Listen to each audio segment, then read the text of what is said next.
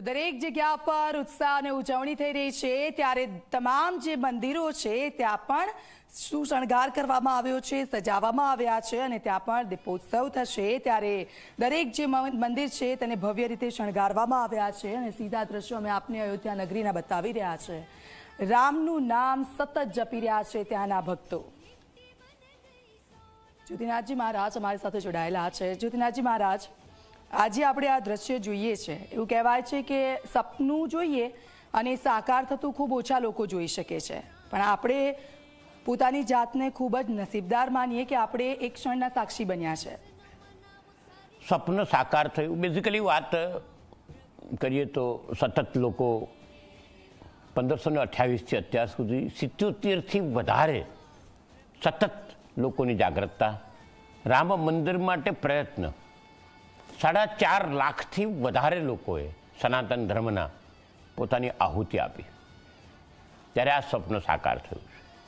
તમે જે શણગારની વાત કરી તો હું એમ કહું કે આ શણગારની પાછળ કેટલા હૃદય, કેટલાની આત્મા, કેટલા લોકોની શહાદત, એક અલગ વસ્તુ છે. મહત્વની વાત છે, જો પ્રભુની હાજરી જો કોઈ મંદિરમાં દેખાતી હશે તો તે દંડથી દેખાય, ધ્વજથી દેખાય. ઘણી જગ્યાએ આપણે એવું કીધું છે કે ભગવાનના દર્શન ના થાય ને તો ધ્વજના દર્શન કરી લેજો. ધ્વજ બરોડા, આપણે અમદાવાદથી જઈ રહ્યો ધ્વજદંડ અમદાવાદથી જાય. સાજ એટલે કે અવાજ અમદાવાદથી જાય. જે નગારા સ્વરૂપે. સુવાસ અગરબત્તી અમદાવાદથી બરોડાથી જાય. પ્રકાશ, મોટો દીપક, વડોદરાથી જાય. અને તેનાથી આગળ જયું હતું કે વડોદરાના બારસોથી વધારે લોકો આજે આખું પ્રતનાગઢ છે અયોધ્યાનો ખૂણે ખૂણો. આઠસો ટન ફૂલોથી એને શણગારી રહ્યા છે.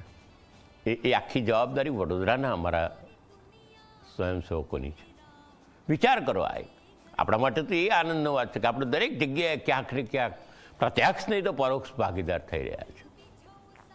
અને જ્યારે પોતે અંદર સંમલિત થાય છે દરેક પ્રજા પોતે અંદર જ્યારે કોઈ પણ વસ્તુમાં જાતે અંદર જોડાઈ જાય છે, ત્યારે એનો રંગ જુદો હોય છે, એનો કલર જુદો હોય છે.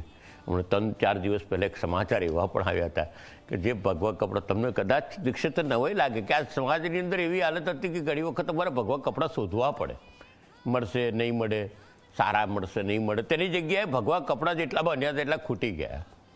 ને આનંદ થાય છે કે એક જ કલર, ત્યાગનો કલર દરેકના મગજમાં આવે ને દરેકના મગજમાં એક જ વિચાર.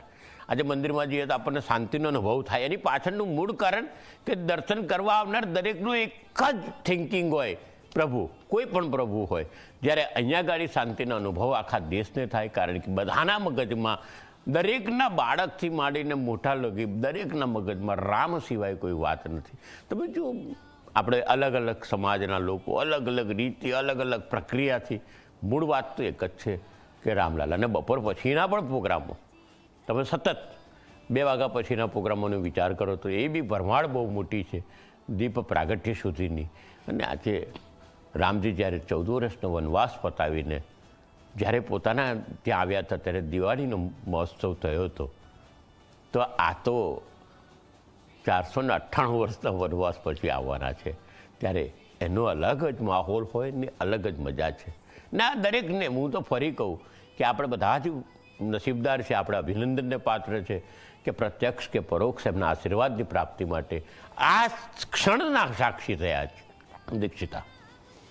બિલકુલ, તમામ લોકો ભક્તિમાં લીન છે ને આ તમામ લોકોની મહેનત છે અને તેનું જ ફળ આજે આપણે ચાખી રહ્યા છે એવું કહી શકાય. ત્યારે અયોધ્યાવાસી